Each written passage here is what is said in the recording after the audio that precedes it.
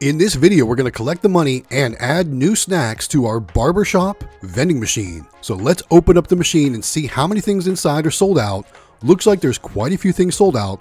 We're going to go through each tray. We're going to check to see what's sold. We're going to stock things up like Doritos here we're also going to add other snacks like Takis and then more things like different candies as well in the candy row before we collect the money. So here goes some Skittles, we'll add those too, and then now it's time to collect the money. So there's not never a lot of coins in this location, but it's always full of dollar bills. Look at all those, all those dollars. Let's go and pull those out. If you like vending related content, make sure you follow us here for more videos. Put your guess in the comments with how much money this machine made, and thanks so much for watching. Hope you guys enjoyed.